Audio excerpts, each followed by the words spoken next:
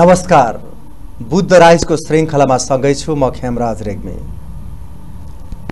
आदरणीय दर्शक महानुभावहरू स्थानीय तहको निर्वाचन भएको पनि एक वर्ष बितिसक्यो। कयौँ ठाउँका जनताहरू गुनासो गर्ने गर्छन् जनप्रतिनिधिले खासै काम गर्न सकेनन् खासै काम भएन। यी खालका गुनासाहरू पनि आउने गर्छन्। कतिपय ठाउँमा जनप्रतिनिधिहरू आफ्नो बलबुत्ताले भ्याएसम्म महत्त्वपूर्ण काम गरेका उदाहरणहरू पनि छन्। विशेष गरी बुटवल उपमहानगरपालिका पश्चिम क्षेत्रकै एउटा नमुना नगरपालिकाको रूपमा स्थापित भएको छ उपमहानगरपालिका। र यहाँका हरेक वार्डहरू राम्रो हुनुपर्छ विकास निर्माण हुनुपर्छ भन्ने आम समुदायको वार्डवासीको चाहना पनि हो।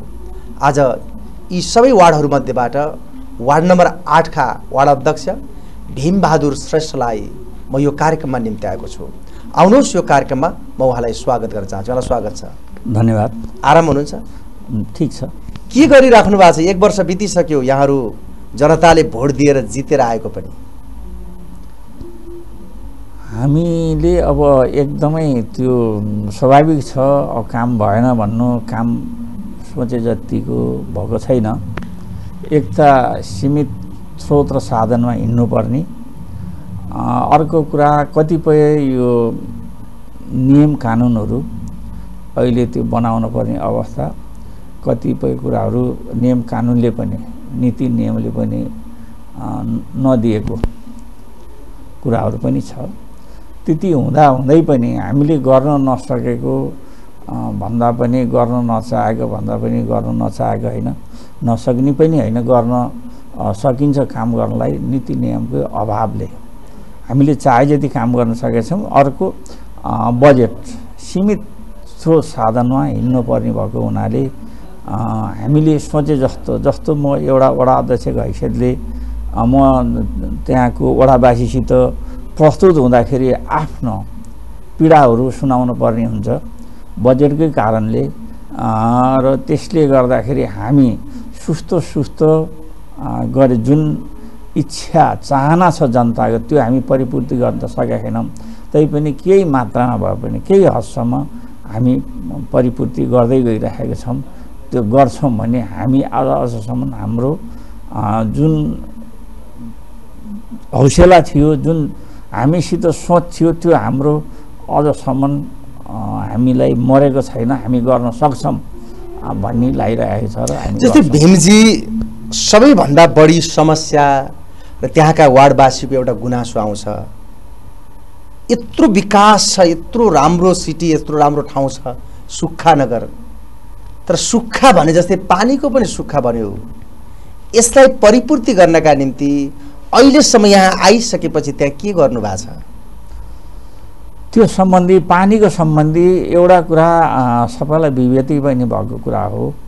एडिबीले हात हाल्यो। यो एडिबीले आजभन्दा करिब करिब सात वर्ष अघिदेखि त्यहाँ गरेको रहेछ। त्यो बाहिर ल्याएन किन ल्याउन सकेन हाम्रो हिजोको नेताहरूले। जनतालाई अलिकता अब त्यो गुमराह राख्यो भन्ने छ त्यस्तो त नहोला। विविध कारणले होला। र जुन टेन्डर भयो ठेक्का भइसकेपछि उसले काम गर्न सुरु गर्यो। काम गर्न सुरु गरिसकेपछि केही हामीले पनि या हाम्रो साथीहरूले पनि केही गल्ती चाहिँ गरे जस्तो मलाई लाग्छ। गल्ती त नहोला गरे जस्तो मलाई लाग्छ। खानेपानीको पाइप विस्तार गर्न लाग्यो जुन एडबीको नीतिअनुसार उसको एग्रिमेन्ट अनुसार उसको जुन टेन्डरमा भएअनुसार ठेकदारले अ, जुन व्यवसायीले हो पाइप ल्यायो यो युपिभिसी पाइप सेतो पाइप ल्यायो त्यो राम्रो हुन्छ भने छ केजी प्रेसर ल्याएर उसले बिछ्याउन सुरु गर्यो। त्यसमा केही हाम्रो स्थानीयवासीले अवरोध गरेको कारणले उसले काम बन्द गरेर खने खाल्डाहरू पुर्दिएको कारणले उस त्यो काम स्थगित गर्न नदिएको कारणले ऊ मुद्दातिर गयो। र हामी आइसकेपछि हामी ब के असारको दुई हजार चौहत्तर साल असारको तेइस गति हामीले शपथ लियौँ र तुरुन्त खानेपानीको व्यवस्था गर्नुपर्छ। भनेर हामी नगरपालिकामा धेरैचोटि अनुरोध गरेँ। मेयर साहबले एडिबीलाई बोलाए बोलाएर हामी दुई दिन साउनको पन्ध्र सोह्र हामी बस्यौँ ल पानी खुवाउने भनेर हामी एउटा सहमति गऱ्यौँ। त्यसपछि खानेपानीसित बस्यौँ खानेपानी संस्थानसित उहाँहरूको भनाइ के भने एडिबी त्यहाँ छँदासम्म हामीले त्यहाँ पाइप विस्तार गर्न मिल्दैन। र हामी अरू कुनै तरिकाले गर्नुपर्ने हामी गर्न तयार छौँ। तर हामीले त्यहाँ गर्ने सरकारकै नीति छ सात र आठमा। जस्तै एडिबीले कार्य सम्पादन गर्दा स्थानीयवासीले अवरोध गर्नुको कारण पनि त थियो होला नि त। स्थानीयवासीको भनाइ के भने यो पाइप भनेको ढलमा प्रयोग गर्ने पाइप हो खानेपानीमा यो पाइप गर्न हुन्न कतिपय कुरा नबुझेर हुन्छ। अब ढलमा प्रयोग गर्ने पाइप ल्याएर हामीलाई खानेपानी किन भन्ने उहाँहरूको क्वेसन हो। त्यो कुरामा सायद हामीले भन्दा पनि एडिबीले पनि बुझाउन सकेन। सम्बन्धित निकायले बुझाउन नसकेको हुनसक्छ। र त्यसैले रोकियो। हामी आइसकेपछि हामीले यो पाइप प्रयोग गर्ने अब अर्को पाइप ल्याउने भनेर हामीले सहमति गऱ्यौँ। दस हजार मिटर पाइप आएको रहेछ त्यो सेतो पाइप। साठी हजार मिटर आउनेमा पचास हजार अर्को ल्याउने। यो बचेको पाइप हामी नगरपालिकाले किन्ने भनेर सहमति गऱ्यौँ। त्यति अब निर्माण व्यवसायीले सम्बन्धित पक्षले त्यति इन्ट्रेस्ट देखाएन मुद्दा गइसकेको भएर त्यो मुद्दा चाहिँ सायद फसला भइसकेको अरे। हामीले अब यो भएन हामी गर्ने भन्दा कस्तो अप्ठ्यारो रहेछ भने एडिबीले नछोड्दासम्म हामीले बोरिङ भएको त्यो हामी छुन नसक्ने रहेछौँ। हामीले ल कालो पाइप किनेर जसरी पानी खुवाउने भनेर लाग्यौँ। बुटोल नगरपालिका लाग्यो। त्यो कानुन त नमिल्ने रहेछ र हामी रोकिनु पऱ्यो रोकिनु परिसकेपछि फेरि खानेपानीसित बस्यौँ। बसेर हामी केही खम्छौँ भनेर पाइप विस्तार गऱ्यौँ। पाइप विस्तार गरिसकेपछि जुन अब पानी आउने मुहानै छैन भने अब त्यो पानी पाइप विस्तार विस्तार गरेर त पानी त हुँदैन। सानो पानी गइराखेको छ। र हाम्रो सहमति भएको के भने एउटा बोरिङ खानेपानीले एउटा बोरिङ बुटोल क्याम्पसमा गर्ने त्यसपछि बोरिङ चलाएर डाइरेक्ट पाइपमा राख्ने एउटा बोरिङ त्यसपछि आएर तल सडक विभाग गर्ने र माथिको चलेर घाँसमा त्यसपछि सडक पनि चलाएर पाइपमा हालेर पानी खुवाउने भनेर लाग्यौँ। विभिन्न कार कारणले विभिन्न उसबाट भनौँ न व्यवस्थापन हुन नसकेर त्यो रोकिएको छ। त्यो सायद हुन्छ। खानेपानीसित म बसेँ साउन महिनामा हो भदौमा बसेँ उहाँले बजेट छ हामी काम गर्ने भन्नुभएको छ। विविध नीति नियमहरूले अब जग्गा नहुने। सडकमा भएको जग्गा सडकले एउटा नदिने आफ्नो ठाउँ छ। अरू कसैले पनि होइन यहाँ हुँदैन भन्ने क्याम्पसमा चाहिँ साइज जग्गा दिन्छ। एउटा छेउमा दिने भन्ने कुरा भएछ त्यो जहाँसम्म खानेपानीले त्यो गर्छ। यदि गर्न सकेन भने पनि हामी एडिबीको यो दुई हजार अठारको डिसेम्बर तिससम्म उसको म्याच छ। ऊ यो म्याच सिद्धिएपछि जहाँसम्म बस्दैन हामी पनि म्याथ पनि पक्षमा छैनौँ।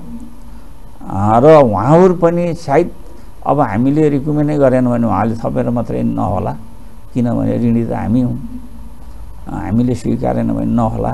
र यसपछि नगरपालिकाले केही रकम छुट्याएको छ एक करोड समथिङ छ नपुगे अरू हामी व्यवस्था गर्न सक्छौँ। पानी अस्थायी रूपमा भए पनि हामी चैत वैशाखबाट पानी खुवाउँछौँ। त्यही अनुसार जानुभएको छ। हामी अर्को कुरा एउटा त्यहाँका वार्डवासी विशेष गरी समस्याका कुराहरू उजागर गर्नका निम्ति पनि आज यहाँलाई म निम्ति आएको हो।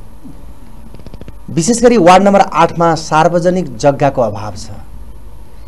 र हिजो सिद्धेश्वर मावि र तपाईँहरूको वार्ड एउटै वार्डमा गाभिन्थ्यो पर्थ्यो। सिद्धेश्वर मावि अहिले सातमा पर्छ। यतातिर आठमा पर्छ। उसैको नाममा रहेको झन्डै डेढ कट्ठा जग्गा। किन वास्तवमा वार्ड कार्यालय उपयोग गर्न सकिरहेछन्? तपाईँहरू जुन साँगुरो घेराभित्र बस्नु भएको छ त्यहाँ जाने चाहिँ वार्डवासीको जनताहरू यति धेरै दुःख रहेछ। हामीले यो अनुभूत गऱ्यौँ तपाईँले गर्न सक्नु भएन या गर्न चाहनु भएन या मेयर साहबले गर्नु भएन। खास कुरा के हो जनता त बुझ्न चाहन्छ? धन्यवाद। यो बहुत महत्त्वपूर्ण विषय उठाइदिनु भयो। यसको लागि म चौसठी सालमा पनि लागेँ सिद्धेश्वरको केही त्यो काम गर्नुपर्ने म त्यहाँ कोषाध्यक्ष भएर पनि बसेँ यही जग्गाको लागि भनेर हामी सुकानगरका साथीहरू यो जग्गा हामीले पाउनुपर्छ भन्ने सोचको साथ हामीले लिन सकेनौँ। त्यो हामीले नसकेको हो। यो खास गरी आठ नम्बर वडा पहिला के थियो भने बुटोलको अहिलेको छ नम्बर अहिलेको सात आठ नौ नम्बर एउटै वडा थियो। सिद्धेश्वर जुन फिल्ड बनाएको थियो आठैले बनाएको हो पछि छुट्टिँदाखेरि उताको यो आठ नम्बरको जग्गा आठ नम्बरकै बासीले त्यतिखेर आठ नम्बर भयो सुकानगरवासीले एउटा पाठशाला बनाऊँ कुलो समिति बस्ने भएन भनेर दिएको हो। त्यो प्रक्रियागत कुरामा के मिलेन कहाँनिर चुक्यो त्यो बुझ्न सकिएन। अहिले आएर छोटकरी रूपमा भन्दाखेरि मैले मेयर साहबलाई बारम्बार भनेको छु "ए, मेयर साहब त्यो जग्गा नगरपालिकाले लिनु पर्यो नगरपालिका हामीलाई ओडाला लिनु पर्यो। अब विद्यालयहरू नगरपालिका आइसकेको छ र त्यो विद्यालयलाई क्षतिपूर्ति नभनेर मूल्य कति हो? एक करोडदेखि पाँच करोडभित्र कति दिन मिल्छ? एउटा सामान्य गरेर त्यसलाई दिनु पऱ्यो भवन बनाउनु पऱ्यो यदि नगरपालिकाले भवन बनाउने पैसा दिनुहुन्न भने म कहीँबाट जुगाड गरेर पनि भवन बनाउँछु जग्गा दिनु पऱ्यो भन्दा अहिले एकछिन पक्नुहोस्। प्रक्रिया गर्दा मिलाउँदै जाम्ला भन्नुभएको छ त्यो गर्नु होला जहाँसम्म हुन्छ। मेयर पनि यहीँको बासिन्दा हो उहाँलाई पनि त्यो पीडा त जहाँसम्म होला हुनुपर्छ। र हामी घचघचाइराखेका छौँ। र सिद्धेश्वरसित नि कुरा भइरहेको छ। उहाँहरूको भनाइ के भने तपाईँ भाडा लिनुहोस् नगरपालिकाले नगरपालिकै जग्गा कसरी भाडा लिने मैले यो मिल्दैन। यो हुँदैन। बरु कति मूल्य हो त्यो मूल्यभन्दा बढी दिएर नगरपालिकाले लिनुपर्छ भन्ने मेरो भनाइ हो।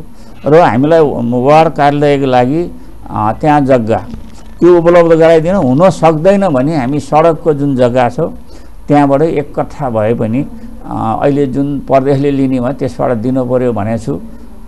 अब मैले नाम त लिइनँ किनभने साथीहरू त्यति सकारात्मक चाहिँ नभए जस्तो लाग्छ। त्यो हुनु होला पछि गएर सबै हामी बुझाउन सक्यो भने सकारात्मक नै हुनु होला र हामी पीडित छौँ चिन्तित छौँ।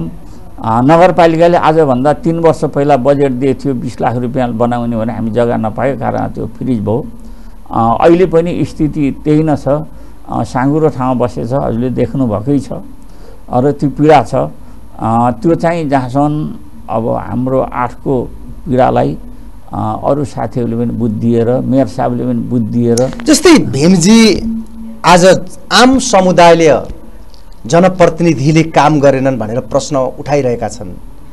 र एउटै पार्टीबाट चुनाव जितेर गए पनि तर प्रमुख जस्ता जसले जिम्मेवारी लिन्छन् वार्ड अध्यक्षलाई टेर पुच्छर नलाएर काम नभएको तपाईँ के भन्नुहुन्छ? होइन त्यस्तो चाहिँ होइन। हामी यो कुरा त बोर्डमा बस्छौँ बाहिर पनि बस्छौँ छलफल गर्छौँ। मैले अघि नै भनिसकेँ कतिपय कुरा नीति नियम कानुनको कारणले पनि हो गर्न नमिल्ने कारणहरू। त्यस्तो हामीमा अर्को पार्टीको पनि केही साथीहरू त्यस्तो कसैसित पनि त्यस्तो छैन। भेदभाव छैन। त्यो चाहिँ किनभने म एकदमै त्यो आफ्नो विश्वासको साथ जिम्मेवार साथ भन्छु भेदभाव छैन गर्नुभएको छैन। र हाम्रो नीति नियमले गर्दाखेरि कतिपय कुरा मैले यहाँ भनिहाल्न पनि नमिल्ला। हामीले त्यहाँ भएको पुरानो जुन साथीहरू हुनुहुन्छ कर्मचारी साथीहरू छ उहाँलाई हामीले बुझ्न नसकेको पनि हुनसक्छ। उहाँले हामीलाई बुझ्न नसकेको हुनसक्छ। त्योले केही कुराहरू होला त्यस्तो अप्ठ्यारो परेको। त्यति धेरै उहाँले पनि अवरोध गर्नु भएन अ, सहयोग गर्नुभएको छ। तै पनि हामीले नजान्दा नबुझ्दाखेरि कहीँ त्यसरी भएको भयो होला। नत्र त्यस्तो। कुनै हामीमा कुनै वडा अध्यक्षमा वा मेयर उपमेयरमा र वडा अध्यक्षहरूमा त्यस्तो छैन। कुनै पनि मनमुटाव हुने यो नहुने भन्ने हामी छलफल गर्छौँ। हामी परिवारको रूपमा बसेर छलफल गर्छौँ। हामी बाहिर पनि बस्छौँ। बोडा मात्रै भयो भने बाहिर बसेर छलफल गर्छौँ। यो भएन यसरी जान भने यसरी पऱ्यो यो बुटोलको विकास भनेको हामी सबै सबै हाम्रो विकास हो। यो जिम्मेवार हामी सबैले लिनुपर्छ भनेर हामी छलफल गर्ने गर्छौँ। यति धेरै अधिकार स्थानीय तहलाई दिइया छ। शिक्षा हेर्ने जिम्मेवारी स्वास्थ्य हेर्ने जिम्मेवारी विकास निर्माणका काम गर्ने जिम्मेवारी। यति धेरै जिम्मेवारी दिँदा दिँदै कहाँनिर अडचन आयो कहाँनिर कानुन बनेन के कारणले तपाईँहरूलाई अल्झिनु पऱ्यो भनिदिनुहोस् त। होइन यो के छ भने केन्द्रले दिनपर्ने कुराहरू सबै दिन सकेको छैन। जस्तो अधिकार दिएको छ अधिकारलाई कार्यान्वयन गर्ने पक्ष पनि त्यति उसले दिएको छैन केन्द्रले दिँदाखेरि। भन्दा वडाले अडतिसवटा अधिकार प्रयोग गर्न सक्छ भनेछ। कुनै कुरा गर्दाखेरि त्यसरी अवरोध त छैन यो अलिकता बढी भयो कि भने जस्तो कुरा नि यता कता सुन्न पाइन्छ। स्थानीय तहले बढी गर्यो आफ्नो मनोमानी गर्यो भन्ने पनि यता कता सुन्न पाइराखिया छ सुनिराखिया छ। त्यो कतिपय नियम कानुनकै कारणले कहीँ बाजिएको कारणले हो अहिले हामीले यही वर्ष कतिवटा कानुन बनाइसकेका छौँ नियम बनाइसकेका छौँ अझ बनाउन धेरै बाँकी छ। र त्यो स्पष्ट नहुँदाखेरि त्यसमा हो त्यस्तो कहीँबाट अवरोध भएर त्यस्तो चाहिँ होइन। कति अब शिक्षाकै कुरा छ शिक्षा आएको छ नियावली छैन। शिक्षा हामीले शिक्षा समिति वडा गठन गरेछौँ नियावली छैन। नियावली नभइसक्यो त कसरी चल्ने चल्न त कानुन त चाहे आधार त कहीँ समात्नु पऱ्यो टेक्नु पऱ्यो त्यो नभएको कारणले पनि हो नियावली बन्दैछ यो बनिसकेपछि व्यवस्थित हुन्छ गर्न सकिन्छ। गर्न सकिन्छ। गर्न सकिन्छ। जस्तै विकास निर्माणकै काम गर्दाखेरि बाटोघाटो पिच गर्न यहाँले दिनुहुन्छ नाली बनाउनको लागि ठेकदारलाई जिम्मेवारी दिनुहुन्छ। र काम गर्ने परिपाटी जब एउटा आर्थिक वर्ष सकिन्छ हतार पतार लतर पत्तरमा काम हुन्छ र त्यो टिकाउ धेरै हुँदैन। जहाँनिर नाली बनाइन्छ त्यो नालीको पानी सर्लक्क बाटोमा जान्छ। यस्तो परिपाटी विकास भइरहँदाखेरि हामी किन कारवाहीको लागि सिफारिस गर्दैनौँ? किन निगरानी गर्दैनौँ? किन औँला ठडाउँदैनौँ? कहाँनिर यस्तो समस्या सिर्जना भएको छ?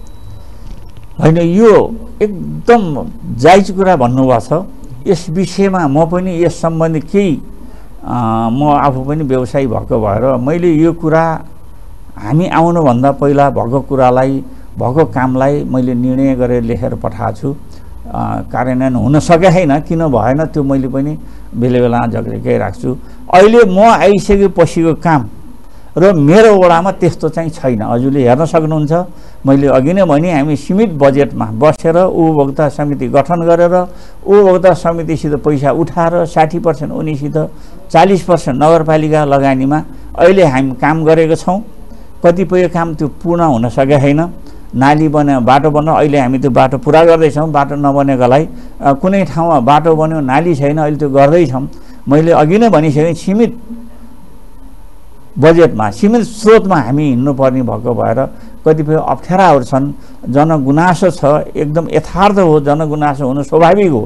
किन स्वाभाविक हो भन्ने मलाई लाग्छ भने हामीले मैले सबै कुराहरूलाई भनिनँ। हामी जहिले पनि जनतालाई तिमीले यति पैसा तिर बल्ल तिम्रो बन्छ भन्नु अलि उचित होइन कि भन्ने जस्तो मलाई पनि लाग्छ। हामी किनभने कर उठाउँछौँ। उसले कर तिरेको छ। कर तिरे अनुसार हामीले सु सुविधा दिन नसके एकदम सही कुरा हो।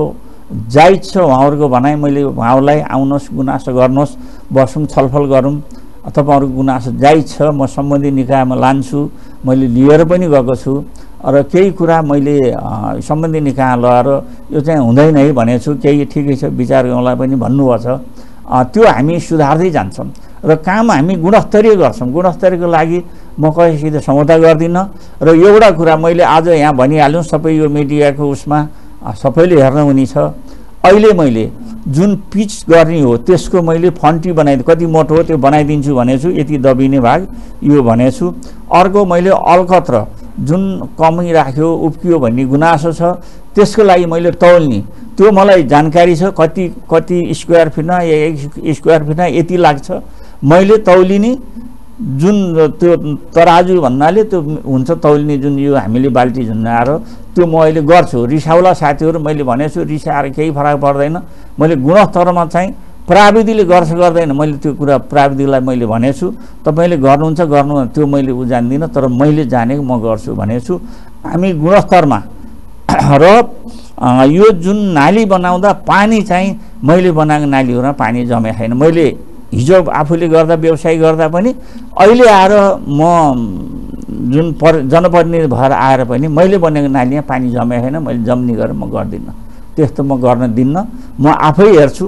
त्यसमा मैले केही बुझेको छु जानेको छु लेभल आफै हेर्छु। सबै यो गराउँछ त्यस्तो हुँदैन। जस्तै भीमजी एउटा समग्र नगरपालिकाकै प्रसङ्ग म यहाँसँग जोड्न चाहेँ। बधशाला बनिया छ। तर आज ठाउँ ठाउँमा छिटपुट ठाउँमा चाहिँ हरेक ठाउँमा मासु पसल खोल्न दिँदाखेरि एक वर्ष अगाडिका खसीका टाउकाहरू बजारमा अहिले बिक्री भएको छ। यस्तो विषम परिस्थिति सृजना हुँदाखेरि तपाईँको प्रमुखलाई तपाईँहरू किन घचघचाउनुहुन्न काम चाँडै सुरु गर्नु पऱ्यो भनेर। कहाँनिर अल्झिया छ कुरा? यो जनतालाई बुझाइदिनु पऱ्यो त्यो बधशालाको कुरा चाहिँ के जस्तो लाग्छ भने मलाई हामी बधशाला सञ्चालन गर्ने। या बधशालाको जुन पहिला कन्सेप्ट आयो त्यो अपुरो र अधुरो थियो। त्यसमा हामीले एक वर्षमा पचास लाख काम गर्ने वा एक करोड काम गर्ने त्यो हामी विज्ञ नभएको कारणले त्यस्तो भएको है जस्तो लाग्छ। काम सुरु गरिसकेपछि सुरुदेखि अन्तिमसम्म यो यो चिजको आवश्यक पर्छ है। त्यहाँ चाहिने इक्विपमेन्ट के हो त्यसलाई चाहिने यो पूर्वधारहरू के हो भन्ने नभएको कारणले यो भएको है जस्तो लागेछ। यो व्रतशाला बन्न लाग्यो आज कमसेकम छ सात वर्ष भइसक्यो जस्तो लाग्छ मलाई। र यो यो एउटा व्रतशाला बनाउनेमा निर्माण व्यवसायी पाँच छजना भइसक्यो होला। एउटा टुक्रा एउटा लिएर गऱ्यो अर्को टुक्रा अर्को लियो ठेक्का गर्छ। त्यसले पनि यसलाई किन विज्ञको कमीको कारणले यो भएको हो?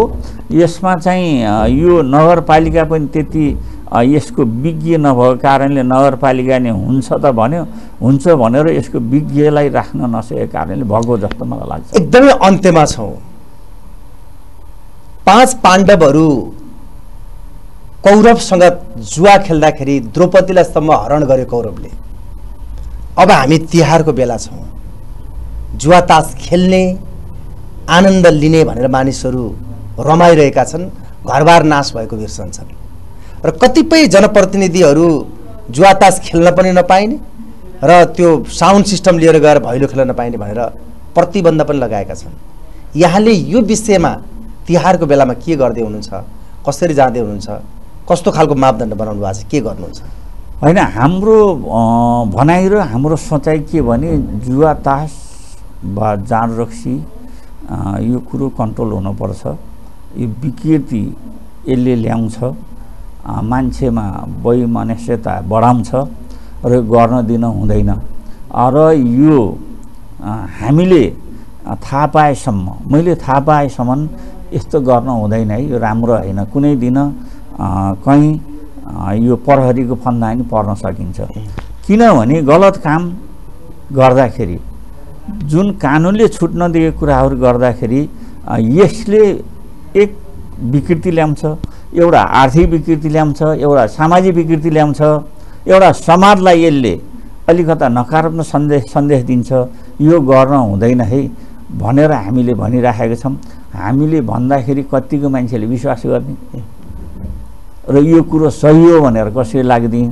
र यसलाई यस विषयमा अझ हामी र तपाईँहरू जस्तो मिडियाकर्मी हुनुहुन्छ बुद्ध टेलिभिजन जस्तो एउटा संस्था यस्तो नाम चलेको संस्था छ तपाईँहरू हामी सबै मिलेर गयौँ भने यसलाई हामी नियन्त्रण गर्छौँ गर्न सक्छौँ भन्ने मलाई लाग्छ र यो गर्न हुँदैन नगर्न कानुनले नदिएको कुराहरू गर्न हुँदैन भन्ने पक्षमा म छु।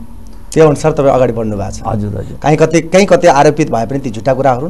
एकदम। त्यो आरोप लाग्ने कुरा यस्तो हुँदो रहेछ आरोप भन्ने मान्छेलाई अब एउटा मान्छेले अब के भन्छ भने कुनै कुरा आफूलाई चित्त बुझेन भने त्यो मान्छे त लुगा गनायो भनिदियो भने हुन्छ हो र भन्ने हुन्छ। मान्छे हुनसक्छ कुनै बेला लुगा पनि गनाउँछ पसिना आएको हुन्छ त्यस्तो हुन्छ। र आरोप प्रति आरोपहरू भने मिथ्या कुरा यस्तो कुरो कसैले पनि कसैको चरित्र हत्या गर्न हुँदैन। भन्ने कसैलाई। पनि छुट दिन छुट छैन। कसैको अब उसलाई के हो भने पहिला बुझेर गर्यो भने राम्रो हुन्छ। नबुझी गर्यो भने पछि चाहिँ उसलाई पनि पीडा हुनसक्छ समाजलाई पीडा हुन्छ उसको नि परिवार हुन्छ उसको इष्टमित्र हुन्छ। सबैलाई पीडा हुने काम गर्न हुँदैन भने जस्तो मलाई लाग्छ। मेरो सोचमा चाहिँ त्यही न अन्त्यमा के भन्नुहुन्छ टेलिभिजन मार्फत? मैले सबै हामी अब यो टेलिभिजन मार्फत यो हाम्रो टेलिभिजन बुद्ध टेलिभिजन नेपाल अधिराज्यभरि विदेशमा पनि जान्छ। सबै ठाउँको सबै क्षेत्रमा बसोबास गर्ने दाजुभाइ दिदीबहिनी आमा बुवा सबैलाई हामी चाडपर्व मनाऊँ खुसियाली बाँडौँ विकृति ननिम्त्याम र हामी सभ्य तरिकाले र भव्य तरिकाले मनाऊँ हामी जुई खेलेर वा रक्सी खाएर मनाउँदा चाडपर्व मनाएको हुने वा नखाएर नखेलेर गर्दा नहुने होइन। हामी इष्टमित्र बसौँ राम्रोसित रमाइलो गरौँ। बसेर अब खानपिन रक्सी नखाए पनि जस्तो म रक्सी खान्न। रक्सी नखाए पनि बसेर त खानुहुन्छ नि आफूलाई इच्छा लागेको कुरो खानुहुन्छ त्यसरी मनाऊँ अ, र कुनै पनि समाजलाई असर पर्ने कुरा कसैले पनि नगरौँ। गर्न हुँदैन भनेर म भन्न चाहन्छु। महत्त्वपूर्ण समय दिनुभयो यहाँलाई म विशेष धन्यवाद दिन चाहन्छु। धन्यवाद। र यो अब अन्तिममा आउँदै गरेको शुभ दीपावली नेपाल सम्मत छठ पर्व र ईदको कि बकरिदको सम्पूर्णलाई शुभकामना दिँदै मेरो भनाइ पनि अन्त्य गर्छु। धन्यवाद। नमस्कार। आदरणीय दर्शक महानुभाव आज हामीले कुराकानी गऱ्यौँ जनप्रतिनिधि। विशेष ग- विशेष गरी बुटवल उपमहानगरपालिका वार्ड नम्बर आठका अध्यक्ष जो अत्यन्त शालीन व्यक्तित्व जसले विकास निर्माणका काम र वार्डवासीको काममा निरन्तर जाग्नुपर्छ लाग्नुपर्छ भन्ने भावना भएका व्यक्तित्व भीमबहादुर श्रेष्ठसँग। उहाँसँग यो कुराकानीसँगै यो कार्यक्रमबाट म पनि आज चाहन्छु। नमस्कार।